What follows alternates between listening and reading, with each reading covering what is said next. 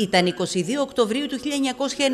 στον Πατριαρχικό Ναό του Αγίου Γεωργίου στο Φανάριο όταν εκλέχθηκε στον Πατριαρχικό Θρόνο σε διαδοχή του Δημητρίου του Πρώτου ο Αποχαλκιδόνος Βαρθολομέος, ο οποίος λίγες ημέρες αργότερα ενθρονίζεται με κάθε επισημότητα. Τη συμπλήρωση 30 ετών συνεχούς παρουσίας του στο Οικουμενικό Πατριαρχείο τιμούν οι Ορθόδοξες Εκκλησίες σε όλο τον κόσμο. Μια απόδοση οφειλόμενης τιμής και σεβασμού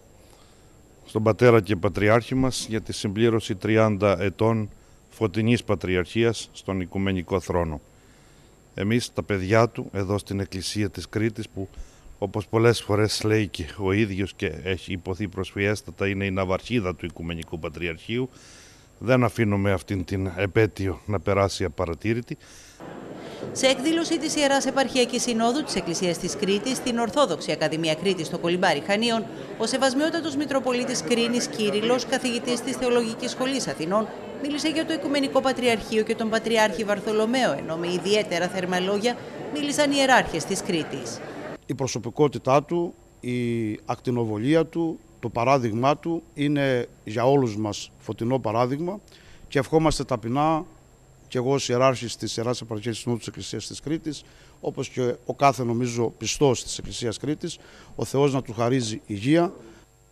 Ο κατακόσμων Δημήτριος Αρχοντώνης από την Ήμβρο είναι ο μακροβιότερος Οικουμενικός Πατριάρχης μετά την άλωση της Κωνσταντινούπολης.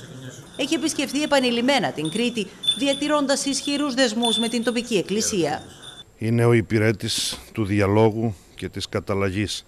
είναι ο υπηρέτης της ίσφυξης των σχέσεων μεταξύ των ανθρώπων. Είναι εκείνος που μας έμαθε να στρέφουμε ξανά και το βλέπουμε πόσο επίκαιρο είναι στους ε, καιρούς μας,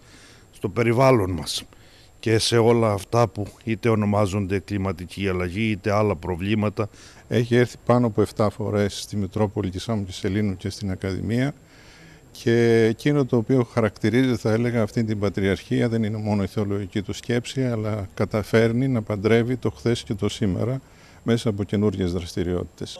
Στα 30 χρόνια της πατριαρχικής θητείας του Παναγιώτα του Οικουμενικού Πατριάρχη Βαρθολομαίου θεωρείται σημαντική η προσφορά του στον διαθρησκευτικό και διαχριστιανικό διάλογο, η προσπάθεια για συνάντηση της Εκκλησίας με το σύγχρονο κόσμο, ενώ από την ημέρα που ανέλαβε καθήκοντα, βασικό μέλημά του είναι η επαναλειτουργία της Θεολογικής Σχολής της Χάλκης.